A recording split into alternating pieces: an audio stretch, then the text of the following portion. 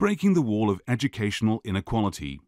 Neema Mfuru, Falling Walls Lab, Tanzania.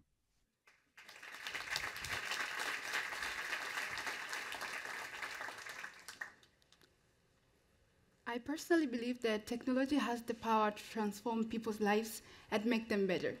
And with the current trends of artificial intelligence, robotics, and mixed reality, a lot of possibilities have been unlocked.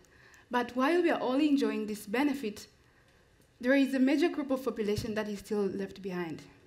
I'm coming from Tanzania, and specifically studying in Mbeya, which is a semi-urban region in southern highlands of Tanzania. Basic internet connectivity in Mbeya is still a challenge due to infrastructure and inaffordability of internet packages. And Mbeya is not only the place that is facing this. We have more than 30% of the world's population that is not connected to the internet, and more than 60% of the Africa's population not connected to the internet. This has been a major challenge to students when it comes to learning.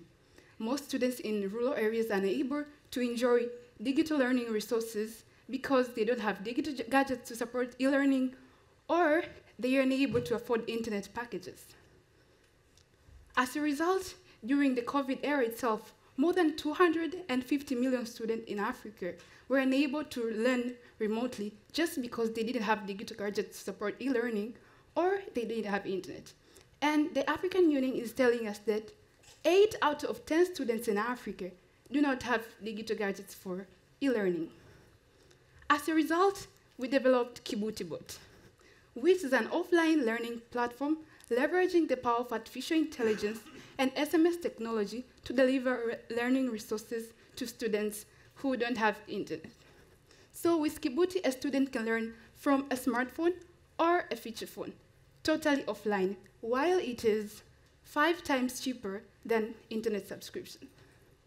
We believe in inclusion and diversity in learning. And the magic behind KibutiBot is that a student just need to have Kibut, uh, our chatbot's phone number, save it, then send any query, and within six seconds, our AI model will give back the response to the, to the student. It is totally offline. You don't need a smartphone. You don't need internet to access it.